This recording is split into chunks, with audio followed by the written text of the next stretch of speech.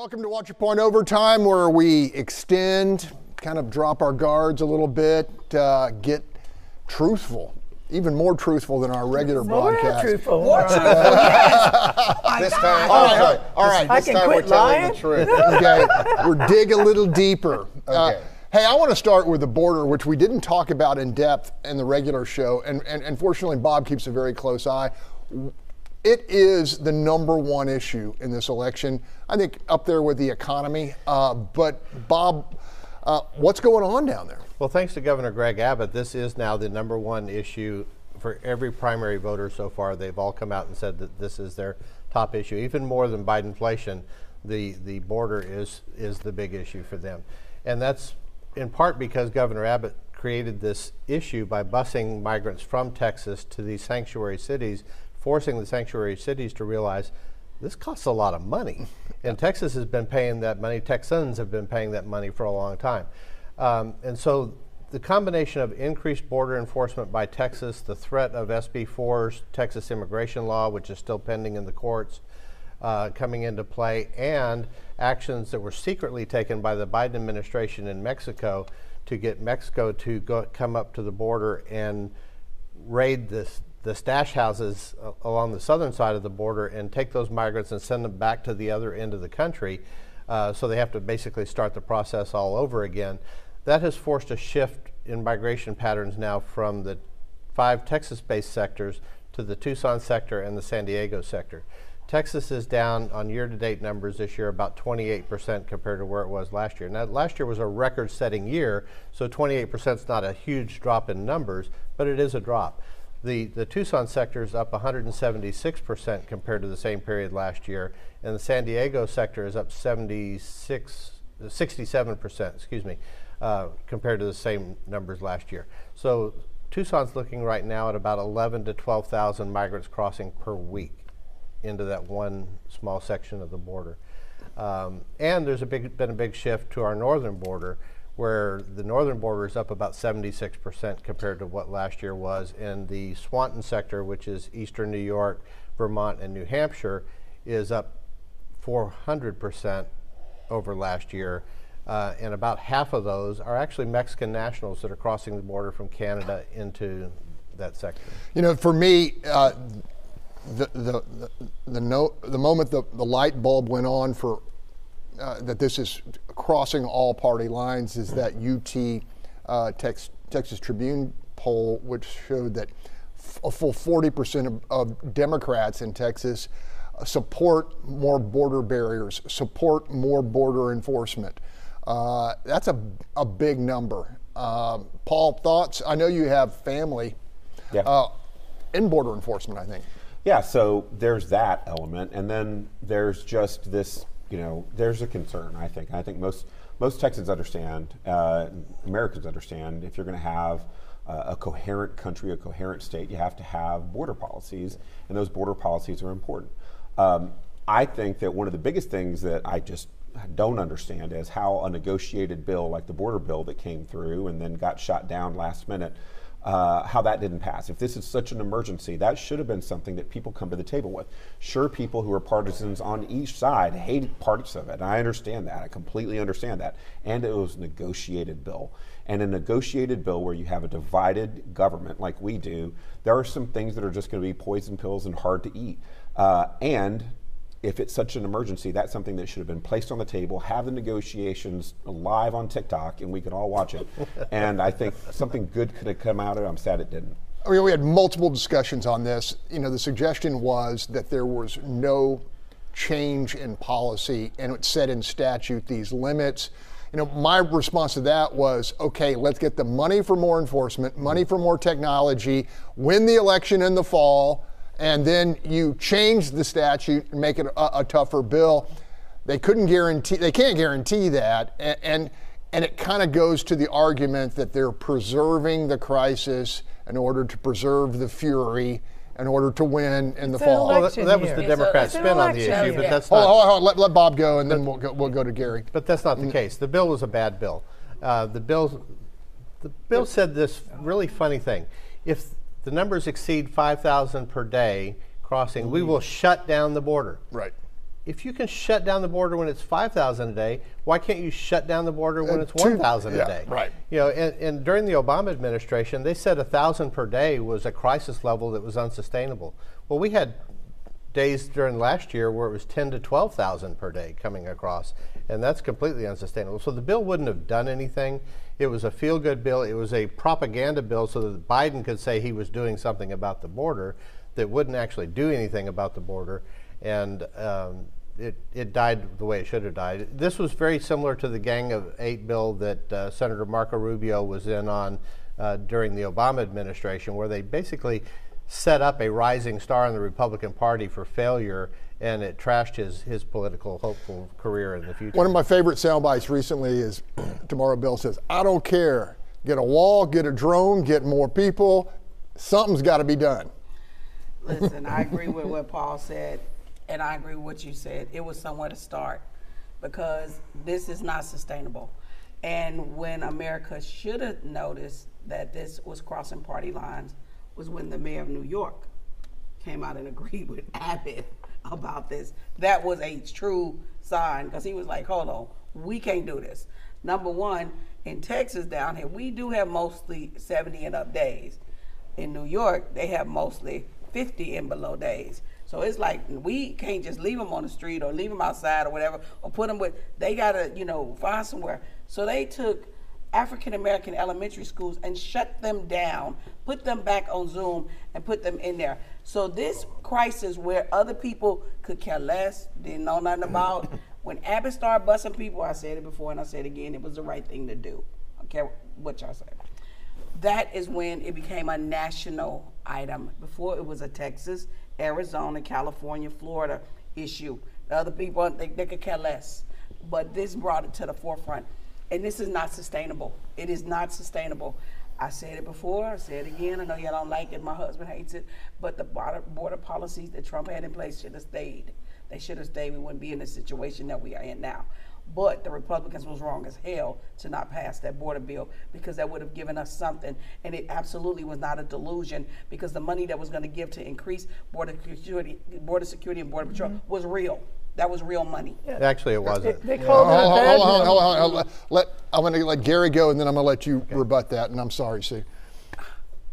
You're, Get us you're- through you're- that. you're- Oh, get us through. That's right. Go ahead, Gary. Go ahead, Gary. I'm gonna go get a So water. Remember that the bill Okay. comes forward as a take it or leave it bill. Yeah. Okay? So there was no amendments, there, there was no opportunity to change it.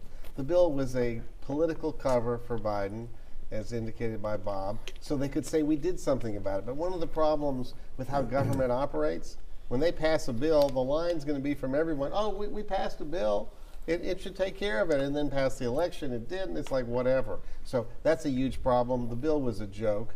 Uh, what's costing New York, and, and this is one of the reasons, by the way, that the, this is the issue, and that's why I think at the end of the day, if Trump wins, it'll be because of this issue, because people in New York, uh, African American Democrats, their kids are getting tossed out of school so they can take care of illegals. And yeah, it's illegals, and there's nothing ashamed about saying it. It is true. You know, our immigration policy is a giant joke, and we need to get it together. Passing a feel good bill wasn't going to do it, and they want to blame Trump all they want. That's fine. But the Democrats have a big problem because they support open borders. Bob, you know, and, and I may have just read bullet points, but you know, the the, the huge multi-billion dollars allotment for additional immigration courts mm-hmm. it was a big selling point. And you know, look, you know, I've been a hawk on this, a- and and it was kind of like progress, not perfection. Uh, take the take the money, get the border patrol and, and and the border patrol union, which you have great contacts with. Sure. They they endorsed it, but I, I mean, it made sense. Look, I get it. It was uh, you know it was a finger in the dike, and maybe not even a very effective finger. And uh, but I also get what.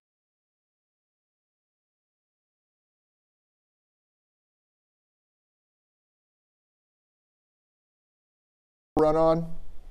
Uh, the Republicans are going to run on the border as well. They should, uh, and and you don't just hand why the other side pass. the opportunity to say, "Hey, we did something." I get that, but so anyway, I'm sorry. I'm, So here, here's the money issue. The money was not yes, the immigration judges were important, but apparently the Obama administration doesn't think these immigration judges are important because they've muzzled all of them. Now they're not allowed to speak out about what they're actually seeing in these courts, uh, which is a, big problem. But the money was not to secure the border. The, the additional agents that they were going to bring down there were to more quickly process the migrants and release them into the country.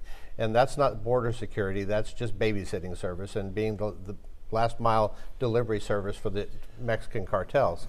Uh, and, and that's what we've been doing for the last three and a half years. So Biden didn't need a bill to fix the border. Biden messed up the border with a single stroke of a pen on January 21st, 2021. He could fix it with another stroke of the pen by rescinding that executive order that he did and putting those policies back in, in place that reduced migrant crossings in April of 2020, in Trump's last full year in office, to only 19,000 for the entire southwest border in a month. We had 22,000 cross in the last two weeks just in the Tucson sector. That's a stunning number. Paul? Yeah, I, I want to go back to like the facts of what the bill included, including those additional judges that were going to yes, process people faster, but in part of that is is send people back whose asylum uh, claims are going to fall short. A big part was going to be to tighten up the asylum process, tighten up, uh, uh, disallow people from getting a job for the first, I think, 90 days of being here in the U.S. There would have been a lot of things that would have removed incentives from people doing it. Without question, right now, it's so simple for a person to come over and just get lost in the system and trust that they have five years to establish themselves, have a kid, create a story around why they should be allowed to stay. All of those things are terrible. And the money, the money which is missing right now for additional border security agents, you know, additional border patrol agents and additional uh, judges to process these claims, that would have been included. Yes, not a great bill, and in the divided government, I think it's something that's needed. It uh, it wasn't going to accomplish any of those things. Okay, the new judge. It, the whole process is messed up. And these people, what is it, 80 or 90 percent, don't even show up Right. for court. Right. They're gone. Right. Let's do Okay, that. I, I So run one- into one- some of them because they're in the criminal courthouse because they some of them, some of them, not all of them, but some get charged with crimes. Well, this this this murder, high profile murder in in Georgia is Say her name. Latham Riley. Lake, Yeah. La- Laken, not Lincoln, as Joe Biden would say. right, right. Uh, is going to be is, is going to be a big rallying cry for uncommitted voters because that, that was a that was a She'll be the Willie Horton of this uh, this campaign. So you mentioned the National Border Patrol Council. Brandon Judd, who's the president of that, came out after and before the State of the Union address and told the president not to use their name as part of his speech because while they backed parts of the bill, the bill was flawed and, and they didn't want really their name associated with it. Okay, we're going to keep a close eye on that, but I want to shift to another huge issue, and that is the uh, the Houston Police Department and these uninvestigated allegation, criminal allegations, uh, and, and what should happen next. The big issue, and I'm going to go to you, Sue, on this. Uh, we heard uh, Chief Troy Finner say, "I need 2,000 more police officers, a 40% increase in the in the force.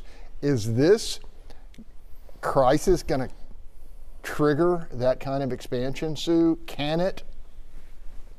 I don't know if, I mean, it's just a fact we need them. I don't think you have to have a crisis to point out what we need on this. I I think this investigation and this is, is they're trying to use it to say we need more officers, but I, I think this crisis is, is different, okay? Um, not just that. It's just some, so, somebody that says, hey, we can make the stats look better. And, and begin. This started back with the um, Acevedo, with Acevedo, you know, Mayor Turner's police chief. It started back then, and it was a way to take and move move what they deter they determined cases they couldn't go and investigate anymore and give them a code move them off to the side you know which then it makes your numbers look better now some of them are like you tomorrow you know they came out and said hey just you got insurance well you have to call an incident report in for your insurance to kick in and take care of your accident. So some of those were incidents where they were really reports of, of my property was stolen. We don't have evidence, we can't find anybody, but you have to do a report to get your insurance. Some of those were, but under the um, the the sexual assault, under the felon, all of that, no, absolutely unacceptable. And it was just a way to move it over, and then you can say, "Well, we don't have enough police officers to do this." Uh, we, we don't know what to believe now. Well, well, we just thing- don't know what to believe. It, it, Finner says he told them to stop. Why didn't they? To me, that's the main thing. Why did his officers not obey his command? And why didn't he know that they weren't obeying his command? The, Exactly. the real question here is the why. Why were they doing this? Why was the city putting out propaganda, make, trying to make people feel like crime was on its way down and things were doing better? We had an election going on, and John Whitmire had made crime his major platform for the campaign. They wanted to take that away from her, or at least water it down, so that he couldn't be as effective in his campaign, and perhaps Sheila Jackson Lee could have been our next mayor. No, they started, as they said, in Acevedo, so you don't know No, what you're talking about. uh, This don't started with tell me I don't know what I'm talking I- about This now. started under Acevedo. Sue said it. This didn't start, this didn't just start. Okay, Bob, this did not just start. This started back Fin- over eight Finner years said ago. for it to stop, so It- why didn't it stop? It did not stop because the assistant chief who he told to make Right. it stop, who he has an email showing it. And, it, and he remember, said it Just say what you wanna say and don't he be did- starting It name stopped when calling. he became the police chief, which was years tw- before Right. there was ever a campaign. This is 20 really But there was Right, a propaganda, Hold on, a hold on, hold on, deliberate hold on, hold on, hold propaganda on. campaign You know, Chris on during the Riddico came on last week and suggested that the order went out and and then the afterworld crisis happened, uh, the deba- and and it got lost, which was you know information I didn't know, but. I mean, let's look at this, folks. This is this this this all went on uh, during the, the lion's share during the Turner administration, Correct. which crossed two different Police two, uh, two, chiefs. two different police chiefs. Uh, I don't know what the reckoning is going to be for, for Troy Finner, or whether there will be one. But here's here's the point that's important. We are under policed. We've been under policed Right. for We a long are. time. That is Okay, absolutely that is- Okay, we can all agree on that. Yeah, we can all Nobody's agree on that. We are arguing under that. police. Nobody. We're This was not talking about Hold on, hold on. within Let- the let me department administration. Let Gary talk. Okay, so we're under policed. The, we know the detectives are overworked. We need to do like we're doing with the rest of the city budget. Somebody needs to take a look at the police budget and see if there's money within that budget before we go to the people again for more money that we can reassign or put the money more in detectives so they can investigate. More on for street patrol, which is inadequate. If we can do that first, but then we're going to probably need to put more resources there, which we've had to do for a long time. But the whole plan with this was to spike the uh, crime rate. This is what it's So, so. I, I, I was talking yesterday to a retired uh, police officer I respect a great deal, and he said, Greg, we don't even need lieutenants. That's a waste of a, a, a- a job. Any any officer that's sitting behind a desk really needs to be evaluated. Those guys can be doing something else. Those can be uh, have if, if it's critical, you can have a civilian uh, potentially in that position. Uh, look, I've also said we got two and a half million people being policed by a total of 5,000, 1,500 of which are behind desks. So we got 3,500 on on three uh, on on three shifts. Exactly. That's, what did need what did we people. think was going to happen? Exactly, exactly. But- yeah, when's the last time they- you saw a traffic stop on the freeway? No. But the county, the county put in civil, civilian uh, jailers long time ago to uh, to reduce the officers in there. The city took the civilian jailers out and put in officers at the jailers and got rid of all those people. And they need to look at We don't just have like you jails said, anymore. The city doesn't right, have right, jail right, anymore. right. Whatever they the the, the down Yeah. at the county where they put them. But they need to look at how many of these desk jobs can go to civilians and get the officers back out on the force to increase the amount of officers that are out there. But you know, this is this is a I'm not kidding, as somebody who's then had several of these incident reports as Sue said, um, this is a problem if you're trying to get a hold of this, or if this is holding you up with your insurance, if you think there's something wrong on it and they haven't investigated it, and you're like, that's not what happened. That's why I said take your phone out if you have an incident. But under Acevedo, we had a serious, serious issue that still has not went to court. Two people were killed The in their house, yeah. minding their own business. I mean, and that that that was unimaginable when that occurred. Okay, and Okay. before COVID. We had wait, we had three members of this panel I know who've lost family members to crime Yes. or almost lost mm-hmm. family members to crime. A home invasion, I believe it was your brother? brother Yes. and your beloved son. I mean, you know, Paul, you still have regular contact with with the survivor mm-hmm. community. I mean, this is this has got to be a gut punch. Well, what it feels like from the victim's perspective is everything seems to be messed up and wrong, right? And so, um, Holly Hansen recently posted, reposted a KHOU report that showed that with these new judges that have come in just in the last four years, five years, the number of people who were solely being monitored by ankle monitors has gone from 326 to 4,100. Okay. Of the 4,100, one third of them have violated the terms of their ankle monitor, mm-hmm. right? So that's on top of these hundreds of thousands of cases that have just been, you know, who knows what's happening. So the number of people who are not being held to account for their bad behaviors has just been going up and up and up. And when it feels like things are wrong, everyone knows that there are these super predators who are out there who are being taken, you know, put back on the street. Even the guy who went and killed that 12 year old and then escaped to the mm-hmm. border, you know, he came back and yes, he has a bond and maybe he won't be able to reach it. Maybe he can reach it. You know, it's just a million dollars and a million dollars can be reached, especially if you still have some people who are doing some crooked things. But all these things seem to be piling up. You have what happened in HFD, what happened with HPD, those who pay attention to HISD, the new superintendent just put out a report that showed the incompetence and the wasteful spending that was going on by prior administrations. And so when we look around, no matter where we look, everything seems to be broken and wrong. And it's just, it, it makes me feel anxious and worried all the time. Gary, uh, you know, we have a, a candidate now for, uh, who says we're going to do away with uh, most probations. We're going to go to a lot of deferreds, and that the criteria is going to be you just need to be bettering yourselves. Uh, perhaps, Lee, and he's suggesting that, that we have these programs for for for uh, to go the trades to go and be a, a, a helper for a, uh, yeah. And if you're making four or five grand a week stealing or trafficking, uh, Yeah. I mean, you deal with some of these clients. I Are do. these guys going to go become plumbers helpers? Uh, no, no, some of them might, but most of them won't. Look, this is basically what we're getting uh, in in the DA's race now. Uh, is the Democrat who beat the incumbent is going on basically going left on steroids. He wants to bring to Harris County what we have in New York, Chicago, San Francisco. DAs that just are lenient and soft on crime. That is wrong. Now the, the voters have a choice because Dan Simon, running as a Republican, wants to make things a little tougher on the criminals and, and cares about the victims. This is very important. We need to look beyond the city of Houston. The city of Houston is the whipping boy for, for everybody. Harris County's got issues too. We have a vastly overcrowded jail. We have a sheriff's department whose clearance rate ain't much better than mm-hmm. HPD's.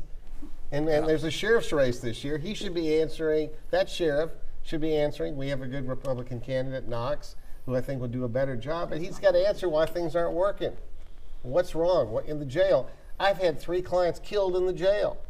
Okay? There are jail officers, there are police officers who work in the jail who have been assaulted and raped and beat up. Our jail's out of control, and forget the streets. The streets are ridiculous. So we have a very serious problem, and the voters need to get serious. It's not about party labels. Look who's running. Look what these people are standing for. Tomorrow we got about a minute and a half. Listen, uh, in 2018 on this show, we talked about the primary race. Do you remember that? And when we talked about the primary race in 2018, we talked about the numbers between the Democrats and the Republicans. And the Democrats had outvoted the Republicans. In the primary, we looked at the county judge race and the amount of, and they were like, oh, well, that's just the primary. You know, a lot of people don't vote during that and everything. Then when it came to the general, the same results. Listen, in this race right here, Republicans outvoted Democrats by over 40,000 votes. race? In that Harris County. and all the races, Democrats primary. versus Republicans in the primary race, the Republicans outvoted about 40,000 votes. So I'm telling you, that shows you that everybody, because I don't know why y'all look at a person's color and y'all assume one thing about them. Knox is my friend. Let me be clear with you. Knox is my friend.